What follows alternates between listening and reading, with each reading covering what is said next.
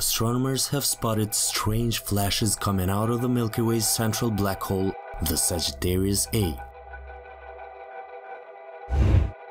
Back in May, astronomers Tuan Do and his colleagues were observing Sagittarius A using the Keck telescope on the summit of Mauna Kea in Hawaii. They observed unusual blasts of radiation coming out of it. The flash of infrared radiation was more powerful than ever. In a period of just two hours, they witnessed the black hole become 75 times brighter.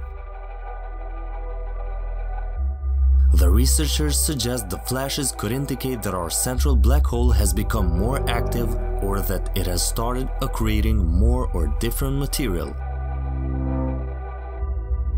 Once the black hole starts eating nearby objects like stars or dust clouds, the infalling material heats up at the event horizon, therefore lighting up the region.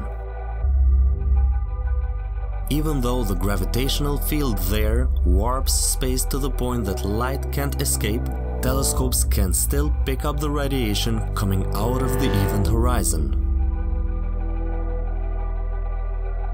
Astronomers speculate that the flash was thrown out when a star known as S2 moved close to the black hole in 2018, disturbing gases at the event horizon enough to cause the flashing event.